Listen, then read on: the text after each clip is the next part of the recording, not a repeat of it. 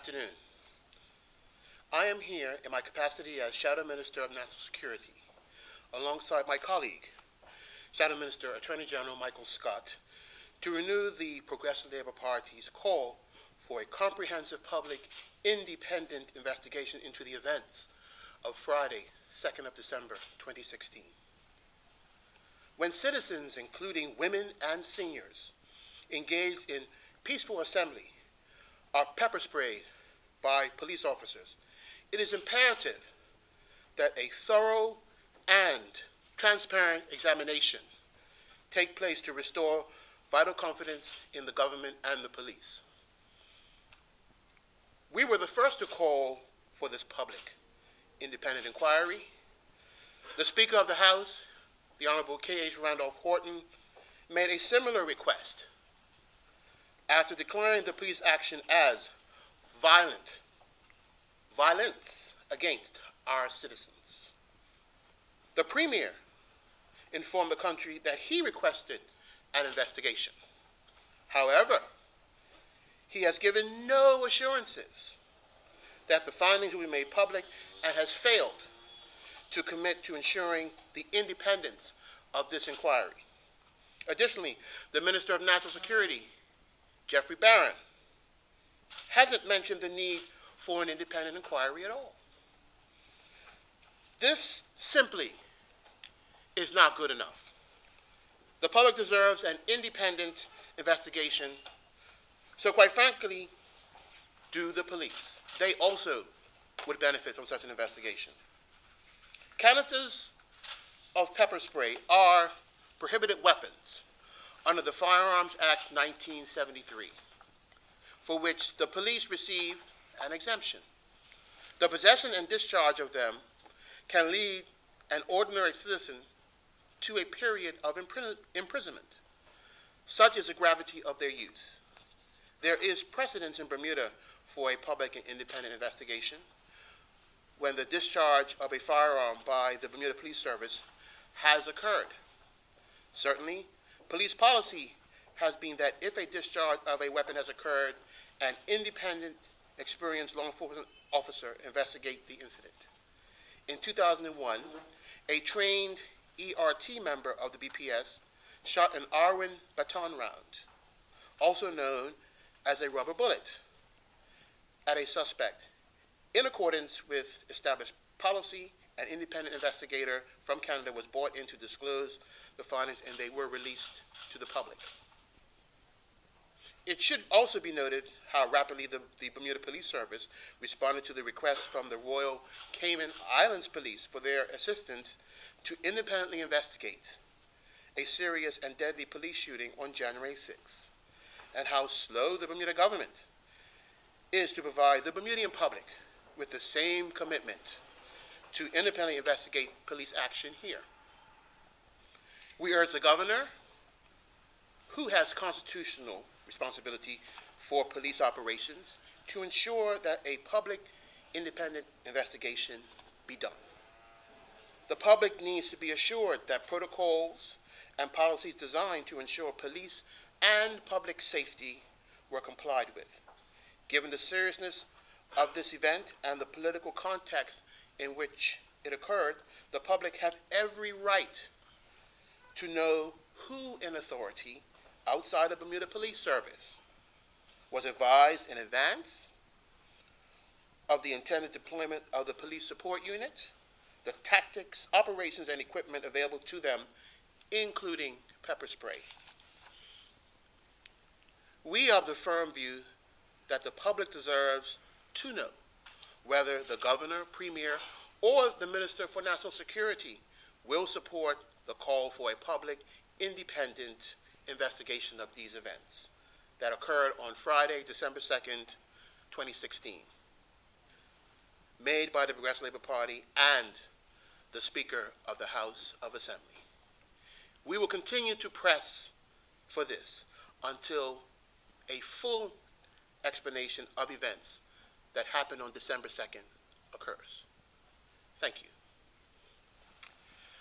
Members of the media, to my colleague, the Shadow Minister of National Security, to the Public Relation, Relations Officer of the party, Ms. Liana Hall. Uh, Good afternoon. The uh, events of December 2016 tore at Bermuda's national fabric, and it left all right-thinking people alarmed and outraged. Whilst Premier Michael Dunkley has requested an investigation, he has not indicated any parameters for such. With harm caused to otherwise innocent, peaceful citizens exercising their constitutional rights of protest and the decision makers more closely, most closely connected with the events being at the very top of government. The importance of a judicial public inquiry is heightened. It is only the judicial branch that is free of conflict to appropriately examine the incident. I made a PATI request on December 30th of this of last year and was informed of the, the receipt of same yesterday. The PATI Act requires a response within six weeks. However, I urge the government to act on this request for an inquiry without delay, as the public shouldn't have to rely on individual requests for information. The importance of revealing the political and tactical considerations of this event can't be diminished. Furthermore, critical to the inquiry will be the victims and the public having an opportunity to be heard. Judges are very experienced at determining facts. Therefore, the Progressive Labor Party makes the recommendation to separate the inquiry into two phases. The first, the invest- investigative stage, and the second, establishing recommendations. The opposition further recommends that there be an implementation action plan whereby relevant parties would have to feed back how they have implemented the points made by the inquiry within 12 months. It is felt that only with effective follow up can the inquiry in, avoid becoming just the delivery of eloquent words, rather resulting in lessons learned. On another matter, which is equally relevant to the interest of holding government to account and preventing abuse of power, and that is the proposed Public Service Commission Amendment Regulations, which I have already commented on. Yet there seems to be no such action or response made on the concerns highlighted by senior civil servants and the BPSU. The impartiality of civil service is a guiding and fundamental protected principle under the Bermuda Constitution. These amendments introduce these amendments introduce the frankly unconstitutional risk of transforming the role of the PSC from an impartial appointing authority for civil servants into a politicized, semi executive body, as noted by former Cabinet Secretary Mr. Donald Scott.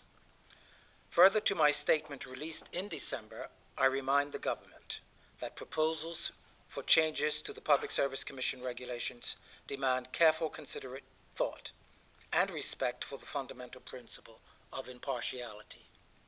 Despite the later call by, recall by the Premier using unconvincing excuses of prematurity of this inappropriate publication, the government's foolhardy approach on this issue should remain at the forefront of our minds.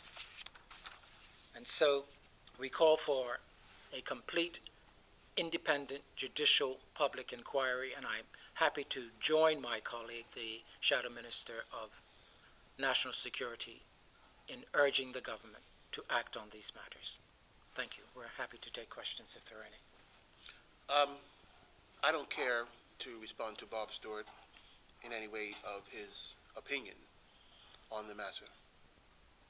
I think we're only concerned about what will happen by those with responsibility as to these events. and we've outlined our position on that quite clearly. Tarai, I don't uh, mind um, putting before the public uh, both the substance of our initial core positions about there being an overriding need for public inquiry into these events. So serious were they. Of course, there will be commentators, and they'll be reckless, or they'll be ill-considered, uh, or they'll be uh, irresponsible. What we're talking about here is just a tiny step towards ensuring that the democracy and the democratic arrangements in our country are observed.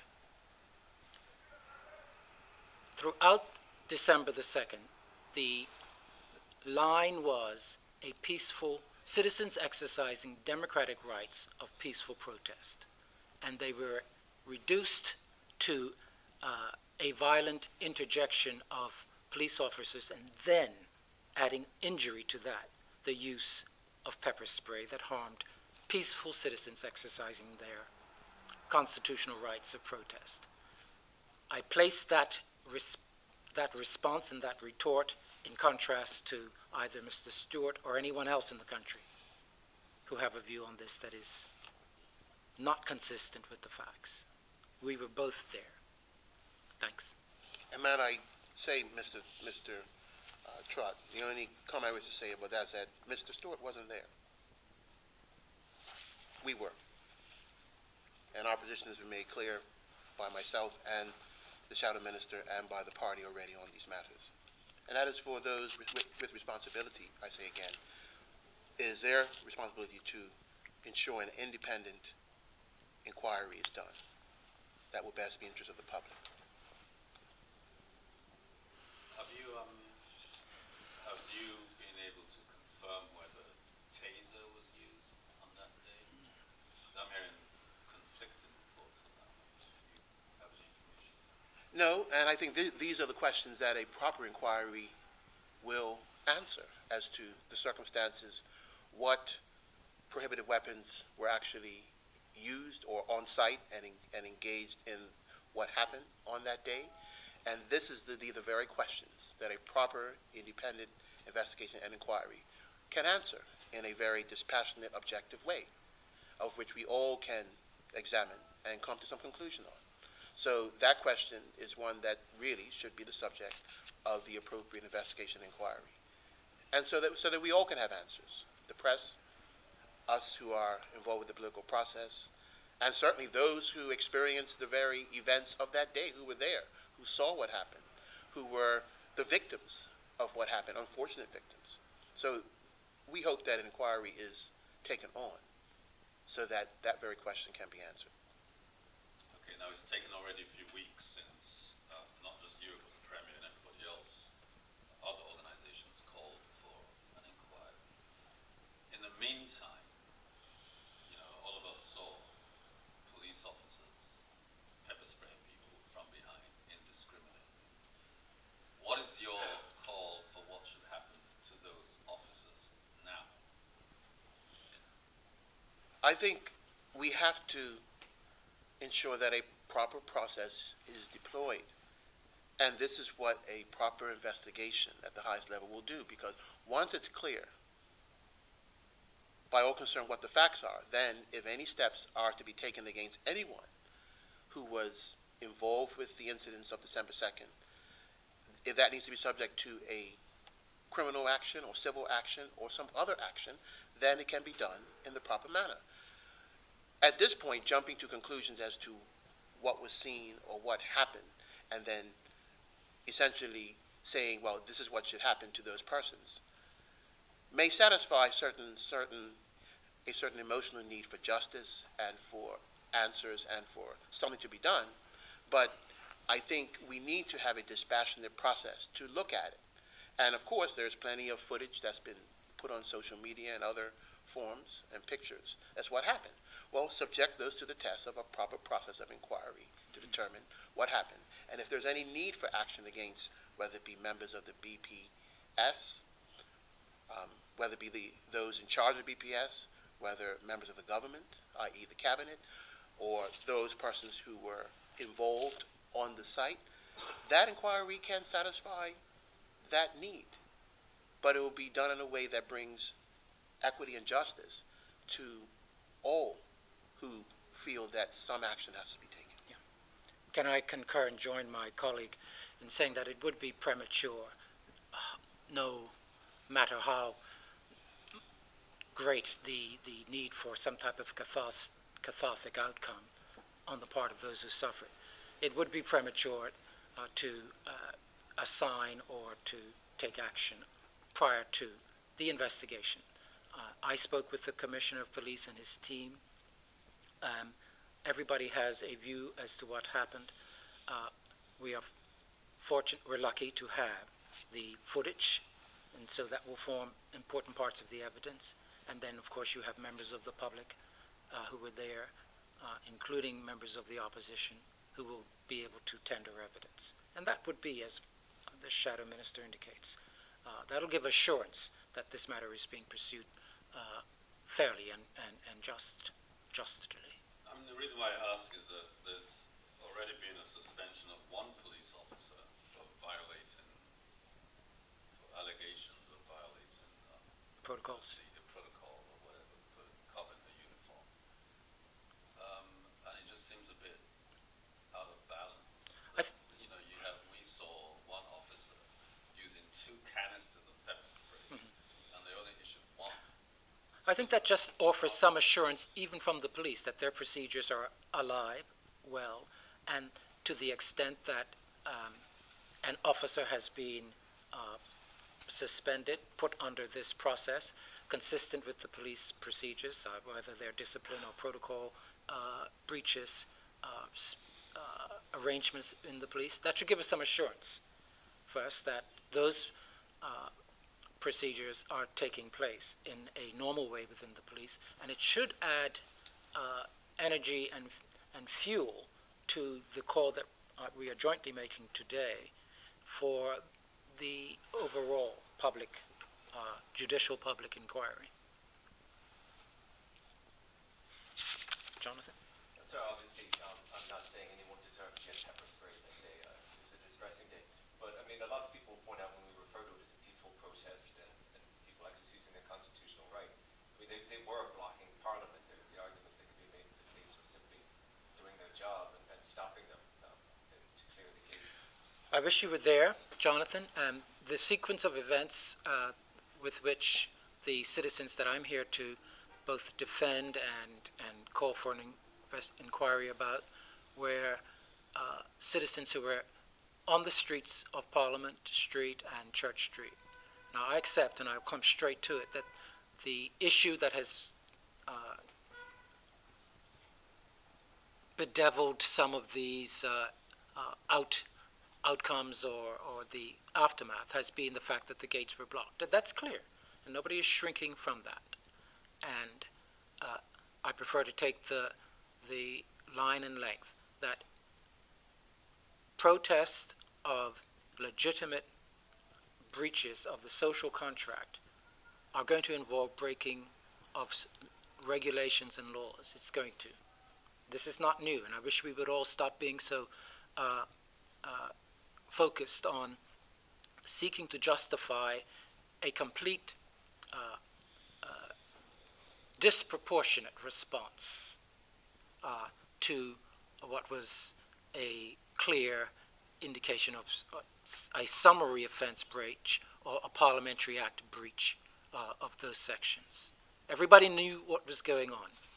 The social contract had been completely uh, breached or abridged, and people were taking their constitutional right of protesting. I think it's very clear um, that per- people were pepper sprayed on that day. Now, that is what's very clear. Yes, and people were assembled in protest of something that they felt strongly about. And there were certain actions that obviously were taken on that day by those persons. But we're not here to adjudicate whether they were right or wrong, essentially. We want and we're calling for this so that all of the facts around what happened on that day can be properly examined. Rather than attaching value to, well, were they right to stand in front of the gate and um, exercise their right of assembly and whether their restriction of those entering was wrong or not. Let's subject all of those questions to a proper independent review so that everybody can understand. But the incident on that day of pepper spraying persons who were not armed, who were essentially peacefully assembled, that is what, where the concern is truly should lie. And why that happened and why that was ordered to be happen and who participated in that process. As I recall, I am not sure that such a deployment of the PSU in that form has been done since the disturbances of 1977. Now, did those conditions exist? And did that merit the response that was taken against those persons? Now, we know in 77 the conditions were very different. But did those conditions exist on December 2nd? Most people don't think so. But let's subject this, this to a proper independent review so that all the questions that are presented to us around the rights of people to assemble, whether the actions taken on that day by them, um, what, how that contributed to what happened, and whether the actions taken by the police were disproportionate or not, or proportionate to the circumstances that they felt they were presented with. What caused them to come to the decision to deploy the PSU in that manner?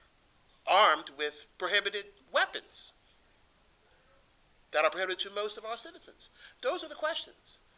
You know, we don't need to be adjudicating whether the persons in front of the House of Assembly gates were right or wrong. That's not why we should be here today trying to do.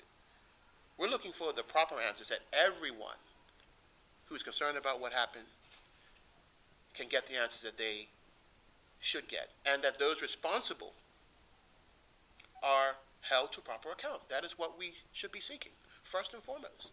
And then we can come to a conclusion after that information has been properly um, pursued. And only an investigation in an independent manner can, in our view, bring about that. Might I also add that I also, along with my colleague, have submitted a PATI request to the Bermuda Police Service around uh, the events of that day. And I too have received a confirmation of receipt and are awaiting further response to that request.